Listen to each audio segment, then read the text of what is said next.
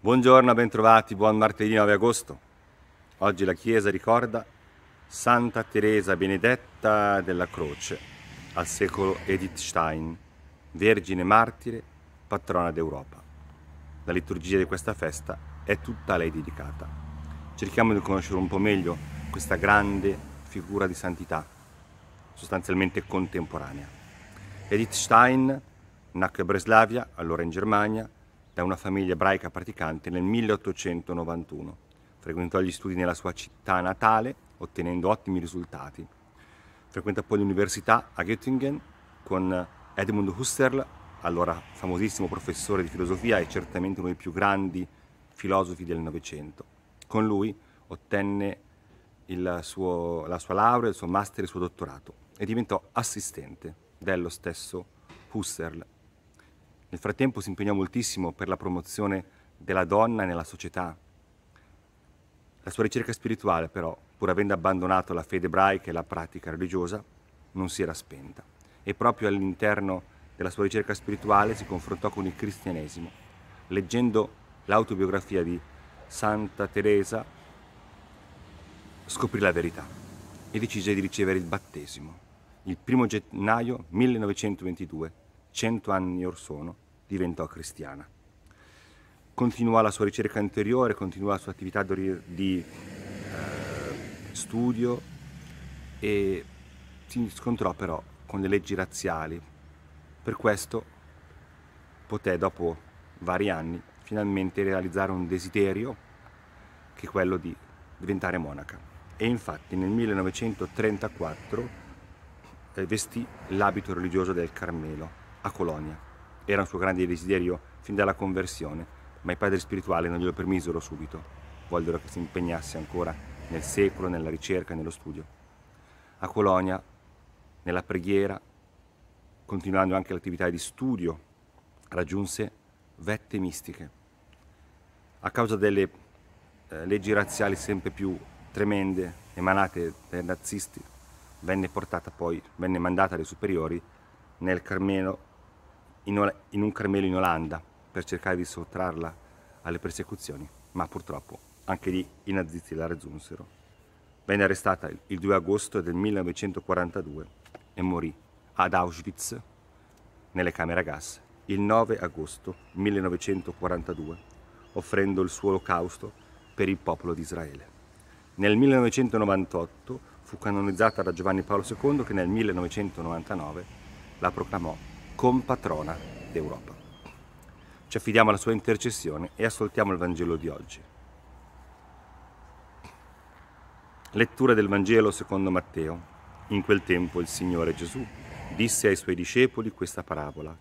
Il regno dei cieli sarà simile a dieci vergini che presero le loro lampade e uscirono incontro allo sposo. Cinque di esse erano stolte e cinque sagge. Le stolte presero le loro lampade, ma non presero con sé l'olio. Le sagge invece, insieme alle loro lampade, presero anche l'olio in piccoli vasi. Poiché lo sposo tardava, si assopirono tutti e si addormentarono. A mezzanotte si alzò un grido. Ecco lo sposo, andategli incontro. Allora tutte quelle vergini si destarono e prepararono le loro lampade. Le stolte dissero alle sagge, dateci un po' del vostro olio, perché le nostre lampade si spengono. Le sagge risposero, no, perché non venga a mancare a noi e a voi. Andate dai venditori e compratevene. Ora, mentre quelle andavano a comprare l'olio, arrivò lo sposo e le vergini che erano pronte entrarono con lui alle nozze e la porta fu chiusa. Più tardi arrivarono anche le altre vergini e cominciarono a dire, Signore, aprici, Signore, aprici. Ma egli rispose, in verità io vi dico, non vi conosco. Vegliate dunque, perché non sapete né il giorno né l'ora. La parabola delle vergini sagge e delle vergini stolte è una delle tre parabole del capitolo 25 di Matteo che riguardano il tema della vigilanza. L'esperienza da cui attinge è un'esperienza per noi un po' strana, ma comune al tempo di Gesù, le vergini compagne le, erano quelle che accompagnavano la sposa alla festa di nozze, le amiche della sposa insomma.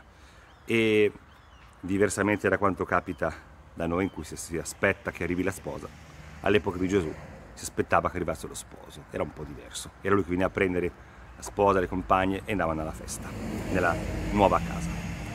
Ebbene, da questa esperienza così quotidiana, no, però certo comune, Gesù ricava una parabola sulla vigilanza.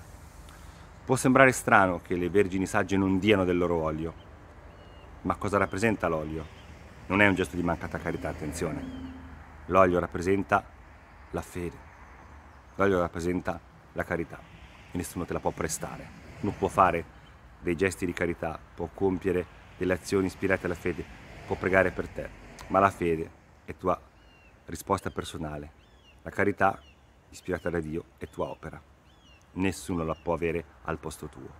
Chiediamo la grazia di avere in noi fede, speranza e carità, come l'ha avuta Edith Stein, che ha trovato la verità del suo essere figlia di Israele, nell'essere sposa di Cristo, vergine consacrata, e con il suo martirio ha offerto la vita perché Israele e perché l'Europa potesse amare Dio.